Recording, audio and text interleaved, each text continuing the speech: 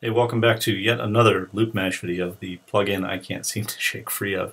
Um, had an interesting question posted by uh, alert reader Joseph Paul, wanting to know if there was any way to automate the, um, in his question he said, automate the quantized value of, of LoopMash FX. I, I think what, what you're really asking is to automate the, the grid resolution in the background. If you click these little red notes in the middle of the plugin, you can see that the, the grid size is is changing, and that affects the the size of the, the stutter or the length of the backspin or any of these other effects. So I'm just I've got a basic drum track rolling here. Let me um, just uh, play a few bars and change resolution so you can hear the difference, and then uh, I think you'll see why he was wanting to to do this. So well,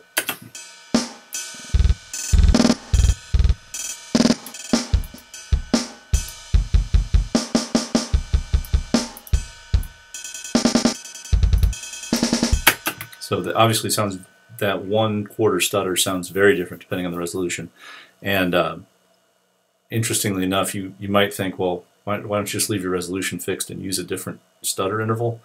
But that doesn't work. You, they don't line up. So uh, the problem, I guess, which is why Mr. Paul asked the question, is that when you click on these um, icons to change the resolution, that information is not recorded anywhere.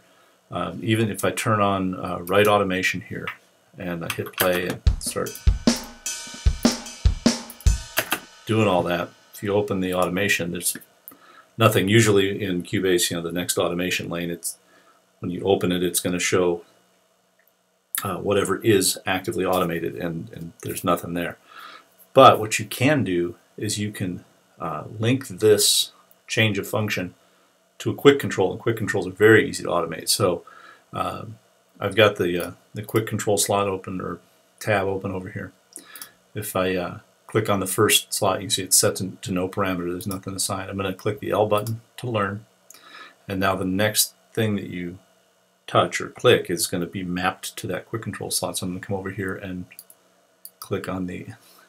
I've Got to turn off the automation function for it to learn and then I can click on those.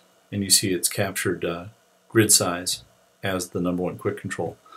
So let me leave learn mode. And now watch as I move the uh, quick control back and forth through its range you can see that the LoopMash plugin is responding. And this quick control movement can be automated. So let me uh, jump back over here engage read write automation.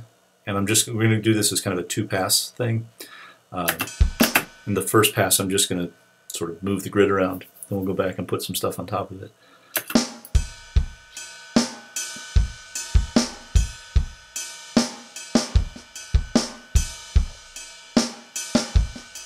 Okay, now if I open, expand the next automation lane, you can see that the grid size, the quick control motions were recorded here. Let me back up over that and um, you can see the plugin responding, cool. And now um, I'm just going to use that one quarter stutter effect and just leave it sort of my finger on the button that through that whole section and uh, you can see how it sounds.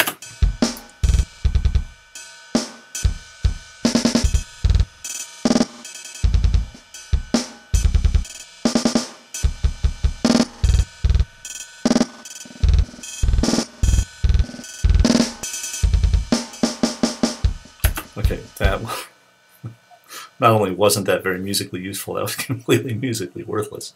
Um, but you get the idea. It's an interesting, uh, it's an interesting question, and uh, I wouldn't have thought to to do that. But you can make the plugin generate some interesting results and um, new set of tools. I guess one other thing I would point out, if you're going to play with this, is once you have the uh, quick control assigned, you can map the quick control uh, to a hardware controller as well. So if you had a, I don't know, those DJ things or whatever off to the side, you could uh, you could conceivably be, you know, using that either in the studio or if you were playing playing out, I guess, with LoopMash.